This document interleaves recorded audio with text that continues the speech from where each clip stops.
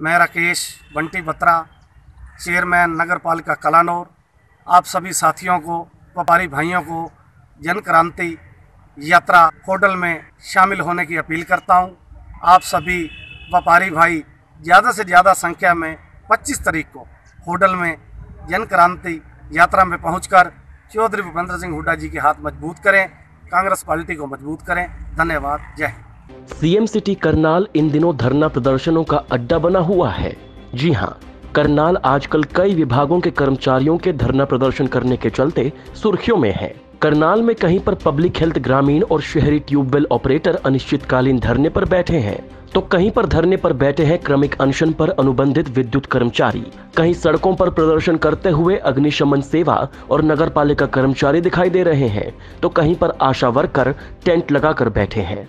इसके अलावा सबसे ज़्यादा जोरदार प्रदर्शन करते हुए दिखाई दे रही हैं आंगनवाड़ी वर्कर्स और हेल्पर्स और इनको पूरा सहयोग कर रहा है सीटू और आइफा यानी कि सर्व कर्मचारी संघ हरियाणा। ये सभी प्रदर्शनकारी अपनी अपनी मुख्य मांगों को लेकर एक साथ धरना प्रदर्शन कर रहे हैं और सभी लघु सचिवालय के मुख्य गेट के सामने मोर्चे पर डटे हैं, जिसके कारण शहर का माहौल इन असंतुष्ट प्रदर्शनकारियों की वजह से खुद असंतुष्ट बना हुआ है। आपको सुनाते हैं कि इन प्रदर्शनकारियों की मुख्य मांगे आखिर है क्या? बिजली विभाग के कच्चे कर्मचारियों की मांगे हैं कि ठेकेदार को हटाया जाए, समान काम, समान वेतन दिया जाए। और जो कुछ हमारी मांगे हैं, उसके लिए हमने 11 तारीख को प्रदर्शन किया था और सरकार से मिलने का समय मांगा था कि हमारी समस्याओं का समाधान हो। लेकिन अब तक सरकार ने ना तो मिलने के लिए बुलाया, ना हमारी कहीं कोई सुनवाई की गई। सरकार हमारे साथ ज्यादती कर रही है, बेरोजगार बना के हमारे को रोड पे धक्के खिलाने के लिए मजबूर कर रखे हैं। हम हिसार से तीन दिन से यहाँ पड़े हैं, हमारे चूल्हे चौके सब बच्चों को लेके आए हुए हैं। नहीं दे रहे हैं सर, बावन दिन से ये हमारे सर हैं। ये फ़ोन करे मैंने दो तीन बार पीए का नंबर लिखा हुआ है, वहाँ पे मैंने खुद ने कॉल करी है।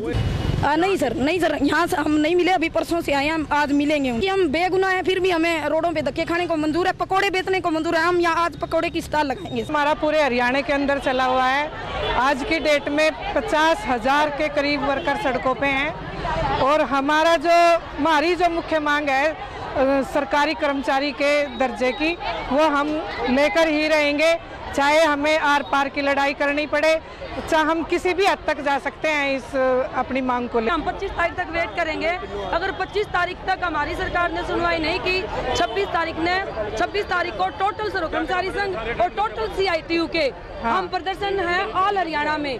करेंगे बहरहाल देखने वाली बात ये होगी कि जो सीएम सिटी अब धरना प्रदर्शन के अड्डे में तब्दील हो चुकी है उनकी मांगों को पूरा करने के लिए सरकार क्या कदम उठाती है? सत्य खबर के लिए करनाल से मेनपाल की रिपोर्ट। आप देख रहे हैं सत्य खबर। दबाइए ये सब्सक्राइब का बटन और पाइए देश प्रदेश की हर खबर।